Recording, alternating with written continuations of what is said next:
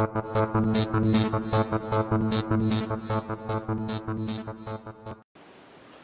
Wednesday, President Donald Trump recognized Jerusalem as the capital of Israel. Since then, Palestinians have been demonstrating in the streets against that decision. It is time to officially recognize Jerusalem as the capital of Israel. Israel is a sovereign nation with the right, like every other sovereign nation, to determine its own capital. Acknowledging this is a fact is a necessary condition for achieving peace.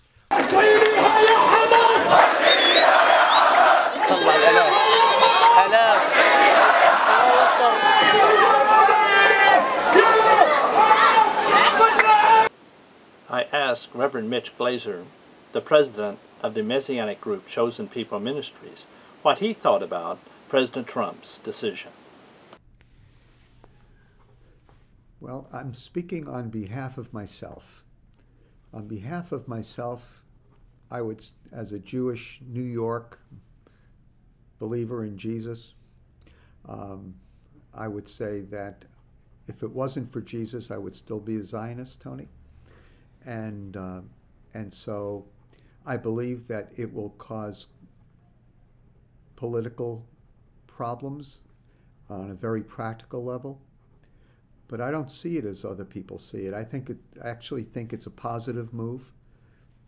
Uh, first of all, uh, everybody recognizes Jerusalem as the capital already. So, I mean, it would be great for the President of the United States to uh, identify it that way.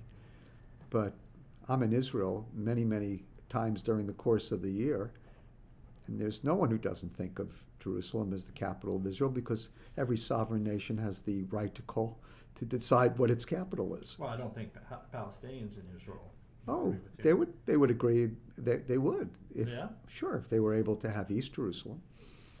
Uh, uh, evidently, uh, the president has uh, told Abba, Abbas that uh, he would not be in favor of uh, having a Palestinian section of Jerusalem to be a capital of Palestinians. Are you in favor of that?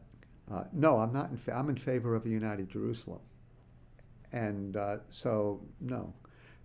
It, it, it, that actually it sort of begs the real question.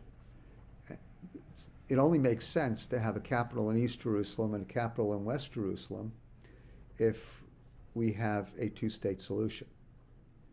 And uh, and so on a, on a personal level, uh, I don't think we should have a two-state solution. I think the people least in favor of a two-state solution are the Palestinian or uh, uh, or Israeli Arab evangelicals, who probably are not in love with the idea of having a state that could be more easily controlled by Hamas or uh, outside influences from uh, more Islamic fundamentalist neighbor, uh, neighbors, or especially Iran.